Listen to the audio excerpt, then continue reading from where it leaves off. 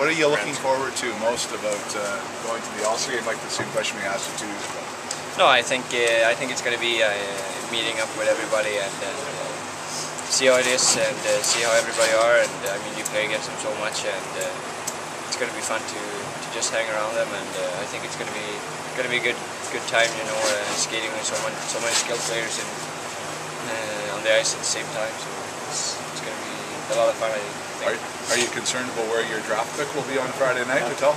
No, uh, I don't really care uh, that much. I mean, I think uh, wherever I end up, I'm going to be happy. If it's if it's the last guy or if it's not, I I, I don't uh, think about that too much.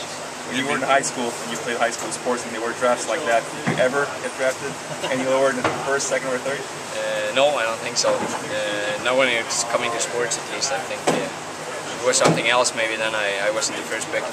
Like school stuff? Yeah, probably. Erik, how well do you know Nick Lidstrom, if at all, or, or some of the guys you've looked up to? Uh, I don't know him at all. Actually, I've uh, actually never met him before, but I'm looking forward to uh, to be able to uh, to meet him and uh, thank him for for the stick he gave me from the Olympic last year. And, uh, it's gonna be it's gonna be fun to meet all the all the Swedish players that you that you haven't met before. So Was, was he an idol of yours growing up?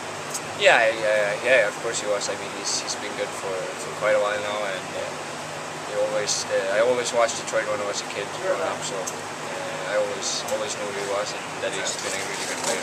Are you going to ask him for any type of a souvenir to take back, or are you are you a souvenir collector? uh, no, I don't know. I mean, we'll see. We'll see when we get there and feel everybody out. See if we ask for some stuff. If he drafted you and you had a chance to play a few shifts, whatever, would that be like better than a souvenir? Yeah, I think so. Uh, just to have it, have it on tape as a proof that you, you played with him would be pretty awesome.